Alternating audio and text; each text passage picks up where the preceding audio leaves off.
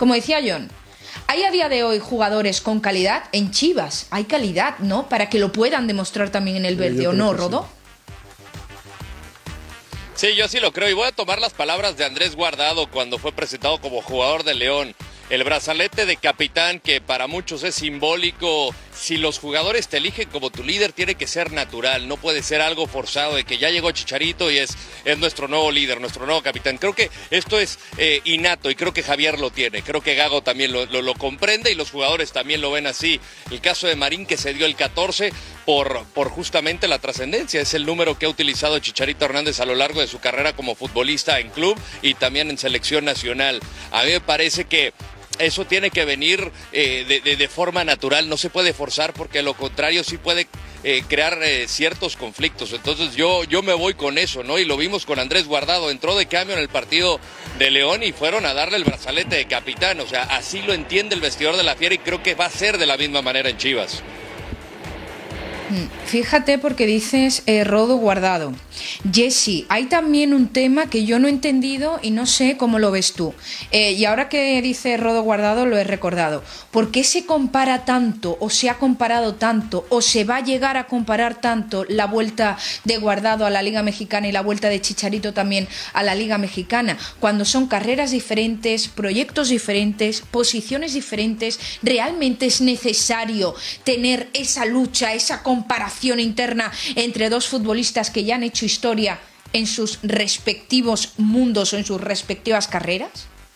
No, definitivamente no, Claudia. Son, tú lo dices bien, carreras distintas. Creo que esa, esa parte de estar comparando carreras va más allá de tener que hacerlo. Me parece también ciertos periodistas, ciertos reporteros se, se eh, están empersinados, ¿no? En, en, buscar eso cuando hay que disfrutar la carrera de cada uno. Andrés Guardado tiene 37 años y llega en, en, muy buen nivel, ¿no? Lo veíamos hace un par de semanas con el Betty siendo titular. Eh, no, no lo fue en este partido contra León. Él decía, ¿no? Misma, eh, él lo decía él mismo la parte en la que pues venía de una semana muy ajetreada, de mucho cansancio, entonces quería reposar y quería, pues esos minutos fueron acordados, ¿no? Al final que jugara, que jugara Andrés Guardado y, retomando esas palabras que dice el Rodo, ayer le dieron el gafete de capitán y él decía también al final del partido, yo no quiero el gafete de capitán solo porque me lo den, o sea, ellos y porque ellos les escojan, quiero ganármelo dentro de la cancha, agradezco ese detalle que han tenido con nosotros, pero el gafete de capitán se gana dentro de la cancha. Sí, Chicharito viene con un gran cartel,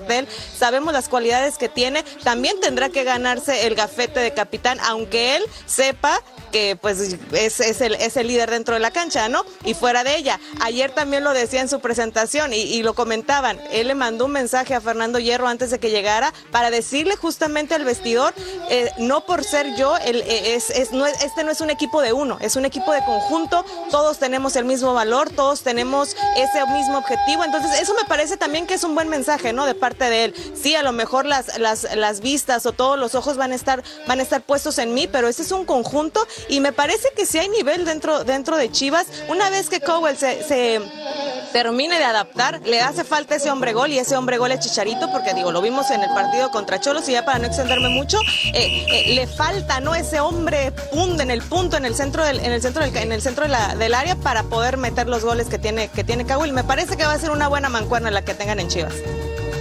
Sí, con hoy, hoy con Claudia y con Jessy se acabó el segmento, ¿eh? Sí, la verdad, la verdad que sí. John Laguna, ayer fuiste mencionado aquí en este show porque alguien se marcó un segmento entero y dijimos, te has marcado un John Laguna, así que has sembrado escuela, John. has sembrado maestrías. No, Aprendemos de los de, de, la piedra y esconder la mano, ¿eh? Para ver más, suscríbete al canal de Fox Deportes en YouTube.